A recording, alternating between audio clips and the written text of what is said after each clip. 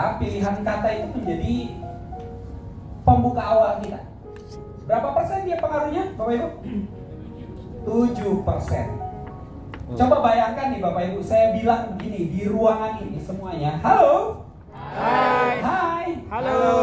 Wah, Bapak Ibu semuanya lemes-lemes banget sih ya. Kok nggak semangat sih? Aduh, ayo dong. Jangan payah begini. Apa yang Bapak Ibu rasakan dari kata-kata saya? Jadi ikut? Sekarang saya rubah kata-katanya. Halo. Hai. Wah, luar biasa Bapak Ibu ya. Semuanya cantik-cantik, ganteng-ganteng dan semangat luar biasa. Gimana Bapak Ibu? Kita siap untuk mulai acaranya? Siap. Ada perbedaan dengan kata-kata saya yang pertama? Ada. Jadi pilihan kata Bapak Ibu itu memberikan pengaruh ketika kita akan tampil. Berapa persen? 7 persen. Kalau hanya sebatas kata saja, dia dampaknya kecil, 7 persen. Jika tidak diiringi, ditambah lagi dengan yang kedua, apa? Voice. Ya. Ada nadanya, ada intonasinya. Kalau Bapak Ibu cuma bilang, Selamat siang, Assalamualaikum, semangat semuanya. Alhamdulillah ya kita lanjut materi kita speaking. Ya, semangat ya. Sudah belajar apa aja tentang speaking? Gimana? Gimana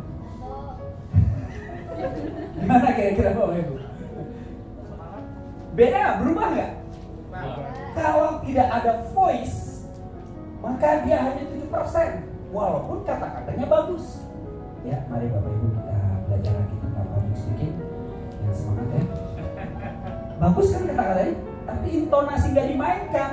38% hilang kesempatan Anda. Maka dia harus dimainkan. Kenapa Soekarno begitu luar biasa bisa memberikan dampak? Dia mainkan intonasinya. Nah, ini nanti akan Bapak Ibu latih bersama-sama ya. Yang ketiga apa?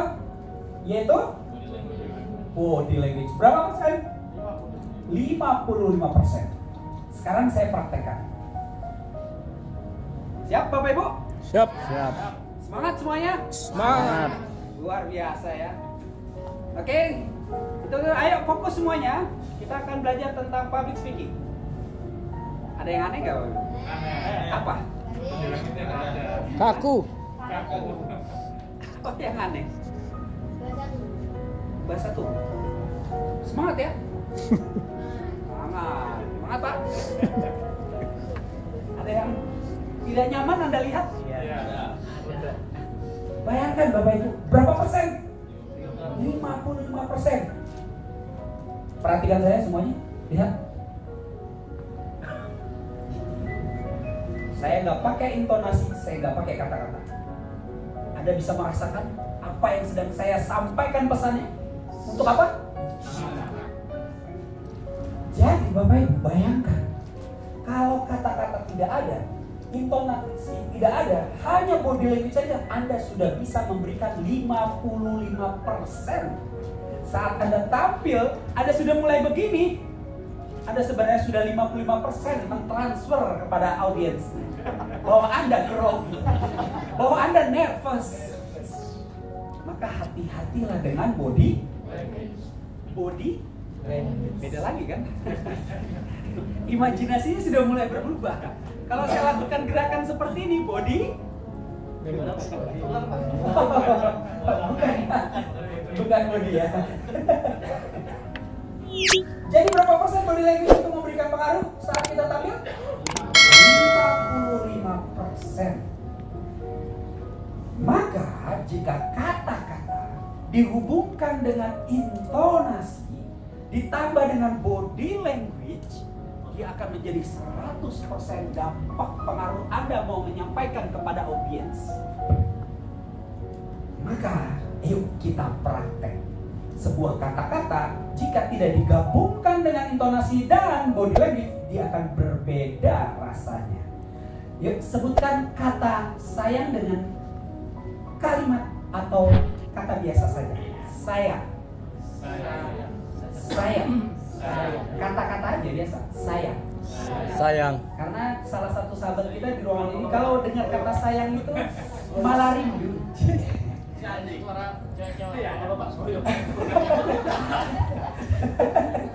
Oke, coba kita latih lagi. Sama-sama sayang. Ah, belum belum ada intonasi. Belum, jangan mainkan intonasi dulu. Biasa, biasa. Oke. Ya. Ya. Oh itu udah ada intonasi lah. Sayang. udah dimainkan itu body language ya. Ini biasa aja, kuplet. Sayang. Nah, Sayang. sayang. Iya. Yang Wah, apa lagi itu? Lihat coba.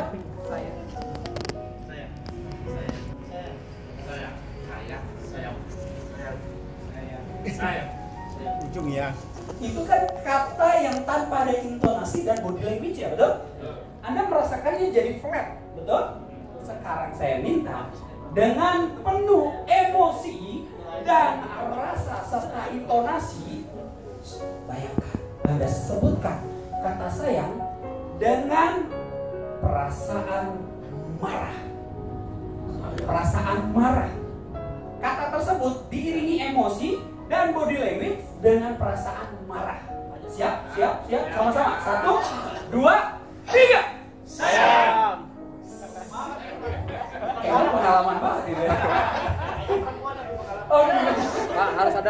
ada oh harus ada lagi. Iya. Beda kan rasanya? Tadi saya biasa. Ketika Anda masukkan emosi, intonasi dimainkan dan body language, sayang. Wow, udah main di situ. Berubah dia.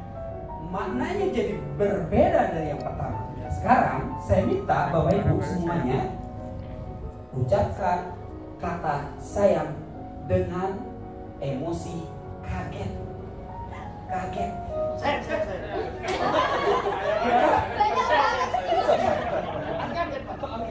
kaget kaget.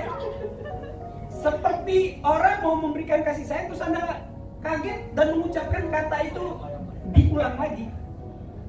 Teman-teman ternyata kata satu kata saja anda bumbui dengan emosi intonasi dan body language dia bisa berubah maknanya sekarang terakhir terakhir siap bareng-bareng semuanya kata sayang ucapkan dengan penuh kasih sayang, penuh kelembutan dan cinta. Ya, siap? Satu, dua, tiga.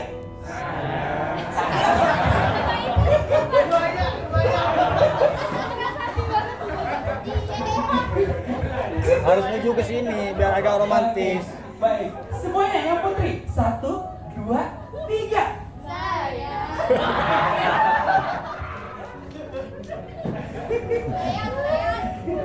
Eh, Beda nggak dirasanya Bapak Ibu? Beda kan? Berubah kan? Yes. Ini ilmu dagingnya public speaking itu di sini. Kita pahami bahwa kata, intonasi dan body language dipadu padankan, Anda mainkan, maka Anda akan menjadi orator yang berperan. Anda akan menjadi orator, pembicara yang selalu diamati dan disenangi oleh orang lain. Nah, nanti kita akan kembangkan lagi. Dari dasar ini, Anda akan bisa mengembangkan bagaimana melakukan ekspresi yang tepat saat Anda tampil di depan umum. Are you ready? Ready. You ready? Yes. Oke. Baik, Bapak Ibu. Paham ya sampai sini? Paham. Sudah bisa paham Bapak Ibu? Insya Ini intisarinya. Oh sayang belum ya? Oke. Tolong nanti dipraktekkan jangan sama saya ya. Biar lebih Iya, harus ada gender yang berbeda. Nah, Bapak Ibu, ini adalah sebuah teori yang ditemukan oleh Mehrabian sehingga namanya menjadi Mehrabian teori.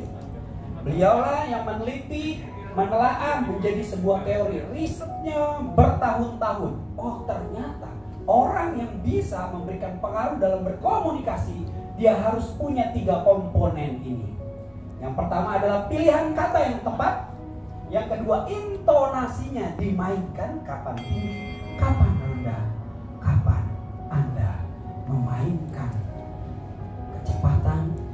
lebih cepat lagi. Baiklah Bapak Ibu hadirin sekalian yang kami hormati. Inilah dia pembicara kita yang luar biasa. Speednya bermain. Kapan Anda memperlambat untuk orang-orang bisa menelaah, merekam, merasakan apa yang Anda katakan. Anda mainkan. Oke? Bisa Bapak Ibu? Siap. Bilang kiri kanannya, bos, paham nggak bos? Bos. Bos. Oke ya. Nah, latihan kita yaitu adalah ada tiga bagian penting komponen. Pertama adalah apa? Opening. Opening. Oke. Kalau opening Anda berhasil, maka Anda akan lebih lancar pada sesi-sesi berikutnya. Tapi ketika gagal di openingnya, maka akan memberikan dampak pada sesi berikutnya. Jadi namanya berubah, bukan opening, tapi opening. Jadi berubah dia. Awalnya adalah opening dengan kondisi yang lancar karena Anda belum menguasai pada saat pembukaan. Orang mendengarnya jadi opening. Penting dia mendengarnya. Maka kita harus pahami apa sih yang dilakukan saat kita melakukan pembukaan? Apa aja yang ada dalam komponen pembukaan? Salam. Salam. Sapaan. Sapaan. Perkenalan. Good. Apa lagi? Senyum, sapa, salam, santun, sopan. Lima S. Oke, yes. Itu semua harus ada Bapak Ibu. Mengapa kami dalam proses melakukan sebuah kegiatan selalu mengapresiasi dulu. Bangun apresiasi kepada audiens. Terima kasih Bapak Ibu hadirin sekalian yang kami banggakan. Kami senang sekali berjumpa dengan orang-orang yang hebat. Berikan apresiasi kepada audiens. Karena ketika kita menebar hal yang positif, ini akan kembali lagi kepada kita. Pernah berteriak di atas bukit? Halo, halo, halo. Terus balik lagi. Pernah? Merasakan? Begitu juga energi. Kita tebar energi positif kepada audiens, audiens juga akan menebarkan hal yang positif kepada kita. Yes? Nah, opening. Yang kedua apa? Konten. Konten ini adalah isi yang mau Bapak Ibu sampaikan. Tipsnya satu, ketika mau menyampaikan konten, usahakan sudah terstruktur. Tidak lebih dari lima poin penting. Oke? Kenapa? Karena terlalu banyak orang juga akan susah, jenuh nanti dia. Bikin pola apa mau bikin seperti singkatan.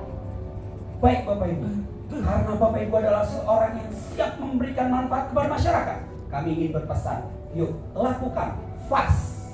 Apa itu fast? Fast dalam bahasa Inggris adalah Kecepatan. kecepatan. Namun singkatannya adalah fast F yaitu fatona. Apa itu fatona? Jadi singkatan. Lalu ada A, A-nya apa itu? Amanah. Amanah. Lalu ada S, S-nya apa? Sidik. Dan ada T, T-nya apa? Tablik. Tablik. Ini merupakan pesan kami kepada Bapak Ibu untuk bisa menjadi pribadi yang bermanfaat. Ingat, apa pesan kami? Fast. Fast. Anda akan menjadi pribadi yang cepat, memberikan dampak dan luar biasa. Fast. F-nya apa? Fatona. Fatona. A-nya, Amanah. S-nya, Sidik. sidik dan Tablik. tablik. Orang jadi gampang mengingat, gitu Bapak Ibu. Ini contoh sedikit. Jadi ketika kita mau menyampaikan poin-poin, bikinlah minimal tiga poin atau dua boleh, maksimal lima. Agar apa? Orang bisa meresap dengan baik. Apa pesan yang ingin Bapak Ibu sampaikan? Baik. Berikutnya yang terakhir, closing. Artinya adalah Penutup. penutup. Itu bahasa Indonesia nya. Tapi apa makna daripada closing? Ada yang tahu? Eh, kesimpulan. Kesan pesan. Kesimpulan. Kesimpulan. Yes. Summary. Jadi, Bapak Ibu di kesimpulan itu adalah menguatkan kembali apa yang Konten. sudah Bapak Ibu sampaikan di Konten. Agar apa? Orang yang menerima, saya yakin buat Bapak Ibu udah jago lah ya, apalagi yang sudah biasa khutbah Jumat. sudah dapat semuanya jadwal khusus ya Bapak-bapak ya mengisi itu adalah tips yang paling jitu menggunakan konteks closing ini. Jadi summary kesimpulannya apa? Setelah ada dep dep dep dep dep dep, ya. Jadi kesimpulannya adalah ini ini. Merecall kembali. Dalam NLP Neuro Linguistic Program otak kita itu bekerja setelah diterima sebuah informasi dia perlu diolah lagi maka dia akan masuk ke dalam yang disebut namanya long long apa long term memory bahasa kerennya begitu. Bahasa kitanya adalah dia akan masuk ke dalam Alam bawah sadar. alam bawah sadar. Otak kita yang paling dalam. Sementara nih kita ada dua area. Ada short term memory ada long term memory. Short term itu adalah memori jangka pendek. Kalau long term itu adalah memori jangka panjang. Ketika anda bisa memberikan sebuah bagian yang menarik dia akan masuk tuh ke dalam. Jadi panjang ingat ya oh yang bapak ini nih oh, saya ingat. Dia itu orangnya begini begini begini. Jadi karakter anda akan muncul yes? Oke are you ready? Yes. Ya. Jadi ada tiga bagian penting. Pertama adalah opening. Yang kedua adalah Konten. dan yang terakhir Closing. closing. Jadi closing itu bukan hanya sebatas wabillahi taufiq wal hidayah. Wassalamualaikum warahmatullahi wabarakatuh. Bukan itu. Jadi closing itu adalah maknanya kita bikin sebuah kesimpulan esensi terpenting apa yang sudah Anda sampaikan di konten. Jadi dia kalau bahasa di komputer di bold, di garis bawahi. Oh, berarti ini nih penting banget daripada sekian banyak kata-kata yang sudah Anda sampaikan. Ya. Nah,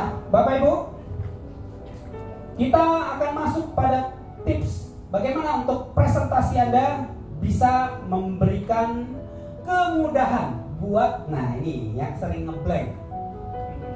Ya, kalau saat tampil ngeblank bikin ini 5W 1 Apa? H. W pertama apa? What? What? Terus Who? who? Then When. when, Why? why, Where? Where? where. Dan yang terakhir adalah How? how. Ini memudahkan kita langkah step-stepnya. Kalau kita ngeblank, bikin sebuah tema tertentu, eh, Pak Ustadz mohon izin bisa untuk menyampaikan sambutan acara kami. Peresmian bla bla wah nggak ada persiapan nih. Gimana nih? Nah bikin ini. Boleh saya minta waktu 3 menit sampai 5 menit untuk saya tahu tentang ah, profil daripada lembaga itu atau apa dan sebagainya? Nah itu gitu caranya. Digali Eh, Pak ini lembaganya ber- eh, bergerak di bidang apa what Who? Siapa aja Pak? Nih orang-orang yang penting yang ada di sini. When? Kapan? Kapan nih? Lembaga ini sudah mulai bergerak. Kapan diresmikannya atau kapan dan lain sebagainya digali informasinya. Why? Kenapa? Kenapa Bapak ingin mendirikan lembaga ini? Where? Where? Di mana lagi kira-kira Anda akan mengembangkan lebih lanjut untuk visi ke depannya? Terakhir, how? Bagaimana caranya Bapak bisa membangun ini menjadi seperti saat ini? Itu bisa jadi informasi buat kita saat akan memberikan sambutan. Baiklah Bapak Ibu, terima kasih atas kesempatan yang sudah diberikan. Alhamdulillah, saat ini kita berada di sebuah lembaga yang begitu luar biasa, mulia, dan bermanfaat. Kenapa? Karena lembaga ini telah memberikan kesempatan kepada siapa-siapa. Ini kan udah informasi kita dapat. Akhirnya jadi bahan saat kita akan tampil. Jadi 5W, 1, 1H. Ini tips buat Bapak Ibu kalau sudah mulai ngeplay. Tips yang kedua, ini kan nggak dicatat 5W 1H nya. Tips yang kedua adalah bikin note poin-poin penting. Bikin poin-poin pentingnya yang mau Bapak Ibu sampaikan. Ini tips yang kedua. Pak, apakah boleh saya tampil menggunakan kertas? Boleh, nggak ada masalah. Yang nggak boleh adalah Anda bawa kertas, audiens nggak ada perhatikan. Meja, mimbar. Dari awal sampai akhir. Assalamualaikum warahmatullahi wabarakatuh. Alhamdulillah, Alhamdulillah Alamin. Puji syukur kehadirat Allah Subhanahu Wa Taala. Pas ngeliat sini bubar semua. Kagak ada audiensnya atau semuanya. "Ah." Nah ini yang nggak boleh dalam dunia public speaking. Ini disebut adalah public reading. Kenapa? Karena Anda dari awal sampai akhir terus baca